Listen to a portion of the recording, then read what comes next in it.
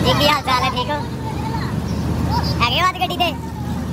ਹੈ ਅੱਜ ਗੱਡੀ ਤੇ? ਇਸ ਤੋਂ ਬਾਅਦ ਤੁਸੀਂ ਆਣਾ